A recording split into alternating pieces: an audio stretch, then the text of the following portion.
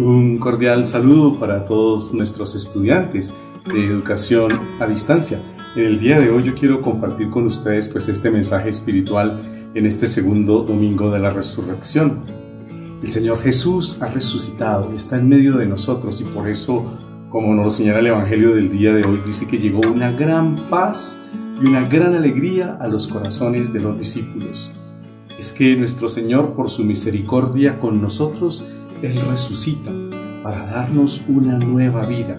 Por eso hoy nosotros descubrimos que hemos recibido la misericordia gratis y que debemos dar misericordia gratis a nuestros hermanos. Y de esta manera tendremos la certeza y la seguridad que estaremos construyendo un mundo mejor. Es por eso que la misericordia siempre nos levanta. Es la mano de Dios que nos levanta. Por su misericordia nos perdona todo. Por eso hoy es un día maravilloso y, y especial para presentar al Señor nuestros errores, nuestras debilidades.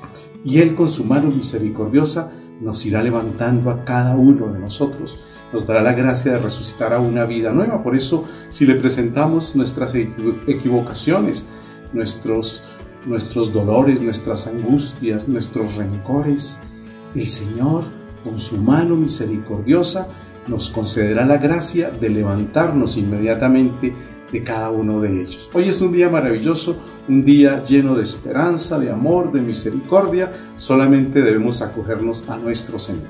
Que tengan todos ustedes una feliz semana. Muchas gracias.